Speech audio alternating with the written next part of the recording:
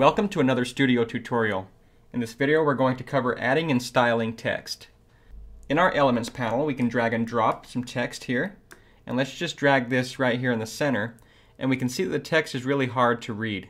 So I'm going to type in this is a header and to style this text we can come up in the top bar under text and the first thing we want to do is add some white text and we have a white preset right here. We can also change the font and the weight, so if I want this to be a little bit heavier. And we have a few other properties we can use. So the spacing here, we can change the character spacing, the line height, which you can't see because there's only one line, and the size. So I want to create a 36 pixel header. And we can also work with the alignment here, left, center, and right.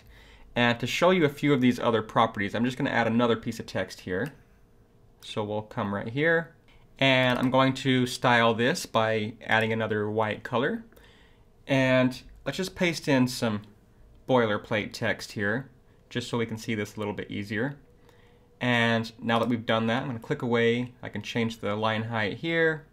I can change the size. Let's say I want this to be 16.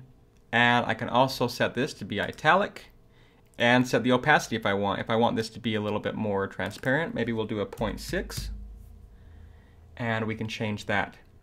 Now, in addition to styling using the text properties, I can also come up here into the box properties and add a little bit more styling here.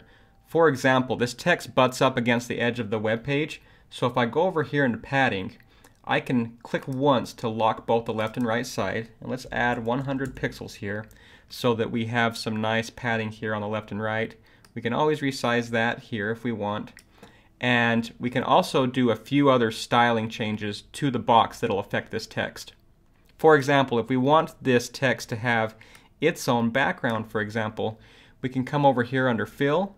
Let's add a black fill and let's make it a little bit more transparent so we can see that fill here and then we can add some padding to this box. Let's do that and we can add a little bit of margin here on both sides. I'm going to lock this. Let's uh, in fact, we can set 200 pixels on all of these sides, and then maybe the padding here, we wouldn't have as much padding. So now if I click away, you can see how in just a few clicks of the box styling, we are able to add a black transparent background to our text, and we can also do things like add some shadows, add a white border if we'd like. Let's do one pixel white border. And let's lock that to all four sides. And you can see just how much control we have over editing the box that contains our text and the text itself.